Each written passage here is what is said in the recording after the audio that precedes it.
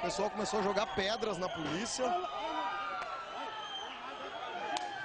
E garrafas também. Começou a voar garrafa e pedras na polícia.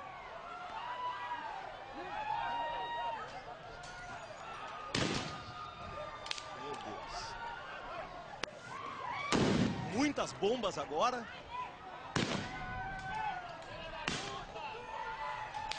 Muitas bombas agora de efeito moral.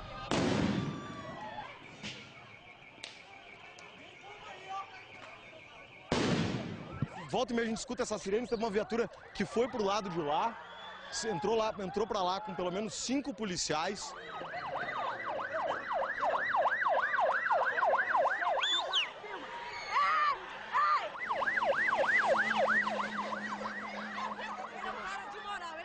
Atenção, pessoal. Nesse momento, o padre, padre está chamando a comunidade para ir para a igreja.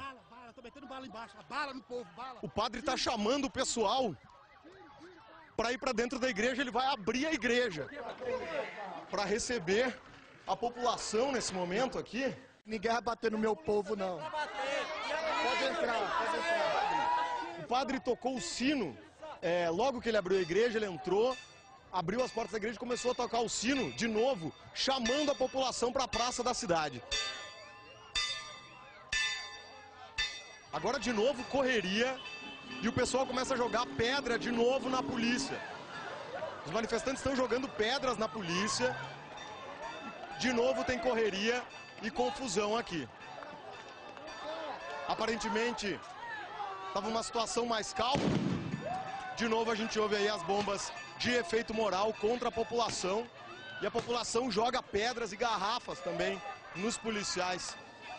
De novo, dispersou completamente. A situação estava aparentemente controlada e as pedras partiram dos manifestantes contra os policiais. Os policiais, claro, acabaram reagindo e eles acabaram